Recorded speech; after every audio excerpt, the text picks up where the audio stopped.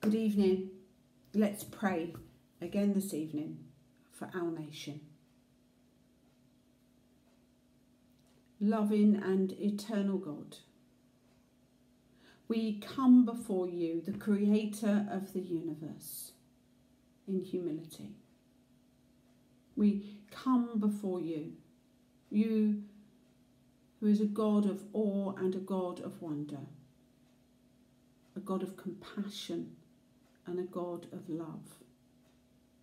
And this evening, Lord, we lift up to you all hospital and care home staff, doctors and nurses, carers and cleaners, chefs and cooks and administrators.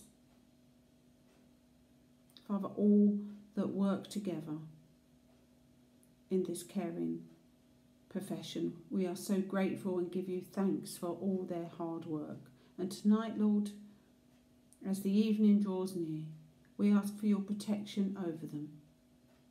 We pray that they would sense, whether they know you or not, they will sense a supernatural touch of love.